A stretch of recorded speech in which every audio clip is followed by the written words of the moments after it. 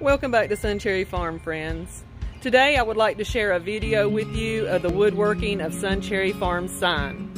And in the description you can find a link for a email address if you think that you would like a sign similar to this or, you know, with whatever information on it that you would like, of course. Then just send an email with the description of the sign that you would like and they will get back with you with a quote.